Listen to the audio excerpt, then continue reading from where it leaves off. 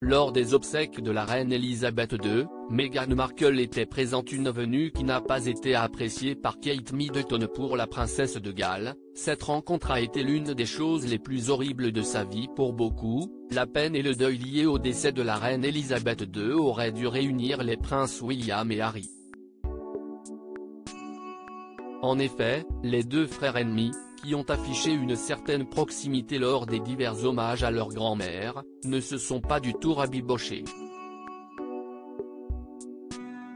Pire encore, pour Kate Middleton, ses retrouvailles avec Meghan Markle et son époux ont été épouvantables. La princesse de Galles aurait confié que le malaise entre les deux couples était si fort que leur promenade pour aller saluer la foule a été l'une des choses les plus horribles de sa vie. La mère de trois enfants a bien eu du mal à supporter les mésententes entre son mari et son beau-frère. Un constat apparemment partagé par la reine Elisabeth II qui aurait qualifié son petit-fils d'assez fou de Meghan Markle pour obscurcir son jugement.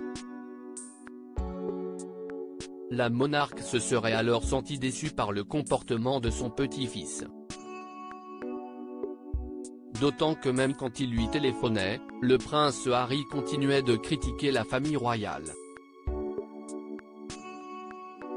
Sa Majesté a trouvé les appels du prince Harry assez difficiles et ennuyeux. Elle ne voulait pas s'immiscer dans la relation père-fils et l'exhortait à parler à son père. Et en effet, le roi Charles III arrêtera de prendre son fils au téléphone. Le couronnement de Charles III va-t-il être le théâtre d'un nouveau règlement de compte? N'ayant quasiment plus de contact avec sa famille, le prince Harry va alors accuser la presse britannique d'avoir harcelé son épouse.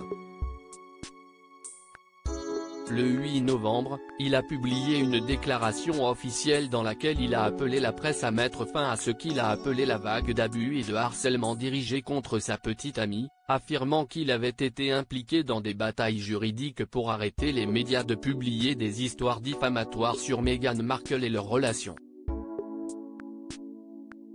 Aujourd'hui, si tout le monde se tient à l'écart des Sussex, le couronnement de Charles III attise toujours de nombreuses tensions.